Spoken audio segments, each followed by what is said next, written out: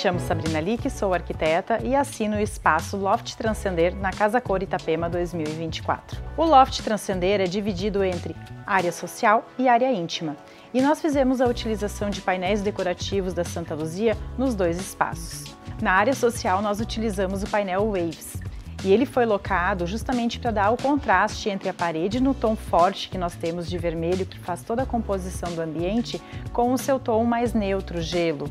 Na área íntima, nós fizemos a utilização do painel Senses, com um acabamento gelo que imita um couro muito sofisticado.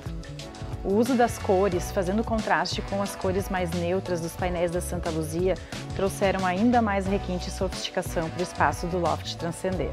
A opção pelos produtos da Santa Luzia, tanto nos painéis quanto no rodapé, foram justamente por eu já ter o conhecimento e já utilizar a marca há muito tempo, pois ela é uma marca bastante consolidada no mercado.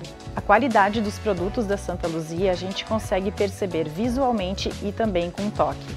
E o mais interessante é que todos os produtos deles fazem uso de materiais recicláveis, o que os torna ainda mais colaborativos com o nosso meio ambiente.